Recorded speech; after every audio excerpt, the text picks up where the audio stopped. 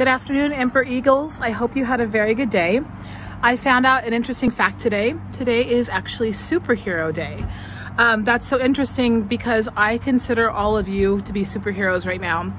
Your world has been kind of turned upside down. You have a different schedule, you have a different teacher, you miss your friends. Um, I think you miss your campus. Hopefully you miss me. And I think life is just so different, but I know you are handling it like champs and I'm so proud of you. And that's what a superhero does. A superhero does hard things in the hardest times, just like a leader. And I am just so proud of you guys for being my superhero and I miss and love you terribly. I have a couple shout outs today. So today I would like to recognize Alex T. She did a great book report. Her teacher said she did a wonderful job. Um, Megan has been doing such a wonderful job in her group. She's been patient and helpful and we're very proud of all the progress she has made.